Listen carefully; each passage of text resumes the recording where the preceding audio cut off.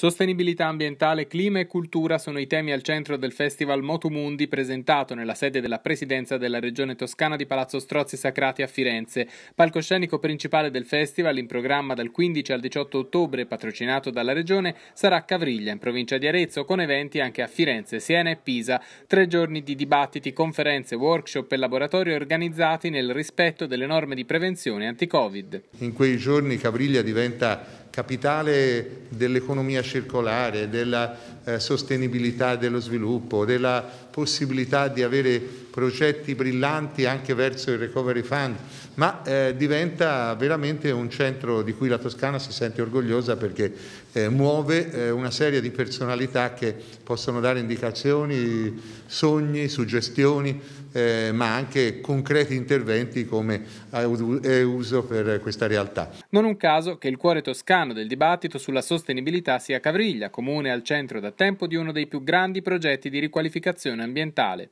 Noi vogliamo mettere l'accento sulla necessità di un cambio culturale in ambito ambientale, lo vogliamo fare in maniera rapida a Cavriglia perché Cavriglia è un territorio che ha sofferto tantissimo da un punto di vista ambientale perché da noi c'erano le miniere di lignite, per eh, oltre 150 anni si è coltivato questo carbone giovane che aveva 4 milioni di anni, devastando un territorio, dando tanta ricchezza, benessere, però lasciando una ferita enorme aperta sul territorio. Il Festival Motomundi ha respiro internazionale, con eventi sia in italiano che in inglese, in presenza e su piattaforme online, su temi come istruzione, scienza, politica e imprenditoria legate al clima e ancora inquinamento, riciclo, acqua, plastica, energia, su cui si confronteranno i rappresentanti della comunità scientifica e gli studenti. Poi ci sono gli elementi che eh, vedono